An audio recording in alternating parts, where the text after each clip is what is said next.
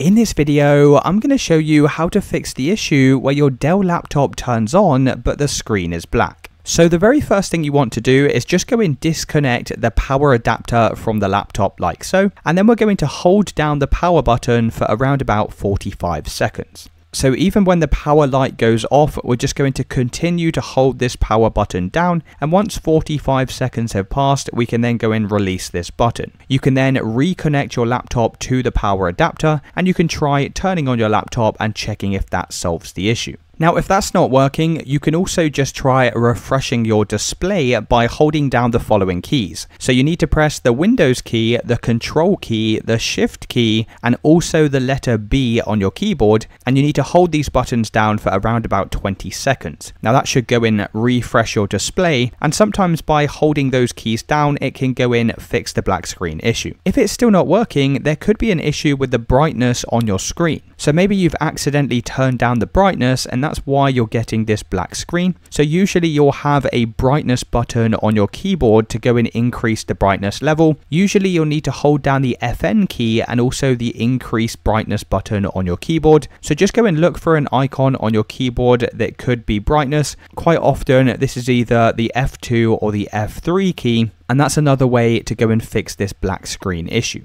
Now, if you have tried all of these steps and it's still not working, you may need to go in, remove the battery from the back of the laptop and simply go in reconnect it. This kind of gives it a quick reset and this can also fix any black screen issues. If you're unsure on how to disconnect your battery, you can take it into any laptop repair shop and they should be able to go and carry out this for you. And those are the methods you can use to go and fix your black screen issue but your Dell laptop is on. Let me know in the comments if you found this video helpful.